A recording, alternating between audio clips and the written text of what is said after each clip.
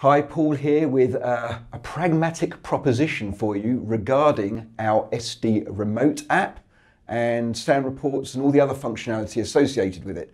Now, SD Remote is a new app for our 8 series. It's, uh, it goes beyond um, our Wingman app, which was for the 6 series and for the Mix Pre. SD Remote is an extension of that and adds some nice new functionality.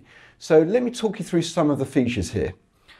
Um, so first of all, I've got this currently hooked up to my um, Scorpio here via USB. Um, this is running on an Android uh, Samsung tablet. Now, you've got these tabs at the bottom which switch between various screens. The first four tabs are related, uh, show you the first, the, the 32 meet channels, um, 1 through 8, 9 through 16, etc.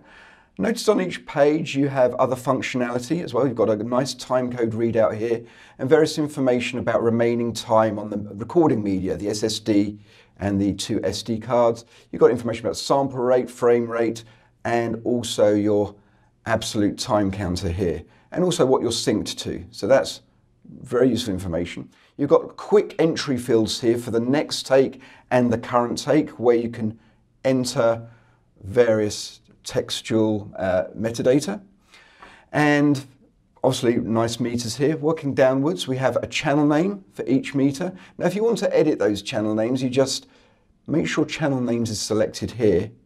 And then you come in and enter your track name metadata there. Now, obviously that's conveyed through to the Scorpio. You can see that here. I just entered boom here and you can see boom on the screen just there. Um, now, I can also um, mute channels. So when that's set to channel mute, I can very quickly pull out channels from a mix. Um, if you don't want to accidentally do that, just make sure that's not selected. Going to the bottom of the meters here, we've got a solo and an arm. Now, Wingman didn't ever have the solo capability, so it's really nice to be able to PFL directly from SD Remote.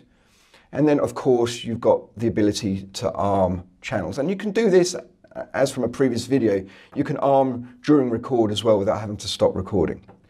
So that's what a metering page looks like, and it's essentially the same across all pages. Oh, just one other thing here. Sometimes you don't want to accidentally hit arm. So there's an arm lock feature here. When that's on, I can't accidentally disarm or arm a track. Pretty useful. So let's move across now to the take list. Now this is a comprehensive metadata entry um, system. It goes beyond Wingman. Um, here's our list of, of uh, takes. Now, one of the nice things about uh, SD Remote compared to Wingman is actually you can play back from the app as well. Um, I can do this from this page actually, so it'll play back the last take. That's really nice. I can even fast forward or uh, rewind or fast forward, so that's nice. But another nice thing is in your take list, I can go back and review any take just by selecting it and then hitting play. So something that Wingman never had, but we got this request, so we added this to SD Remote.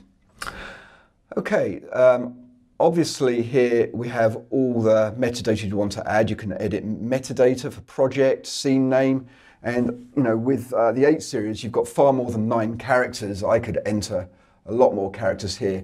You know, in post-production these days, they want more descriptive file names. So having the ability to add a lot more um, characters in your scene name is really useful. Um, take number, you can add your sticky notes here. We spoke about sticky notes in another uh, video, check that out. And add notes here. And then you've got all the ability to edit the track names of all 32 channels and your buses here.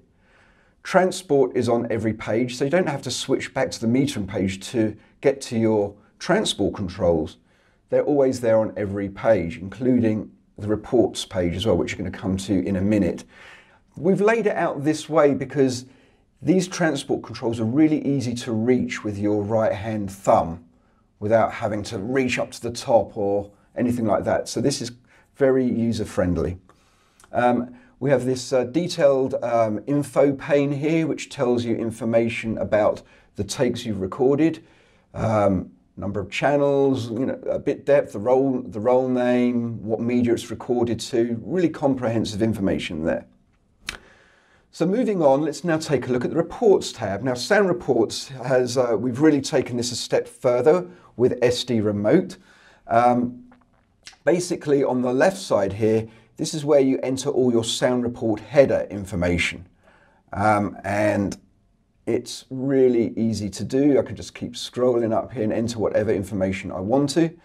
Notice at the very top here, the first field is called role. Now this is your role name, and as you all know, this is very important for post-production to see. So we've got this at the very top, and when you actually produce your sound report, that will be in the title. The role name will be in the title of the um, report. It defaults to being the current record folder name, which is exactly what you want. But you can disable that and use uh, and override that with whatever name you want it to be just by deselecting the use record folder. And the, the system date will automatically be thrown there as well. So we've got loads of fields here you can use to customize the header of your report. And then when you actually create your port, report, you can choose um, which reports to do, um, uh, whether they're being generated from the um, solid state drive or the SD cards or any combination thereof. Um, in this case, I'm just going to do SSD and SD1. There might be different material on the different different media. For instance, you might just have your stereo mix information on the SD1 card, and then you might have all your, your mix and ISO information on the SSD. So you might want to generate reports from both. This toggle switch here, sibling folders, is really useful if you've been working, say, with uh, daily folders, and you know each day you're creating a, a, a new sound report. Now it might be at the end of the week you want to generate sound reports for each uh, for each of those days, but doing it all at once. By enabling that, it's going to look through the current project folder and create sound reports individually for each of those daily folders. So that's a huge time saver. You don't need to just create a new one for each project and select a project, then create a new sound report file. Um, so this is really speeding up the whole uh, sound report uh, creation workflow. Once you've decided that, you can then choose what formats you want to email. Um, when you hit the create report button, what it actually does is instruct Scorpio to create a CSV sound report in the record folder uh, drives on Scorpio. But if you also have email PDF um, selected, at, when that CSV uh, report is created, it's going to automatically pull that file into your tablet, and then the tablet is going to very rapidly uh, create a PDF from that CSV file. So the tablet will hold both the CSV and PDF file. And then we can choose to send those, um, both of them or uh, one individually. Okay, in this case, I'm going to send both.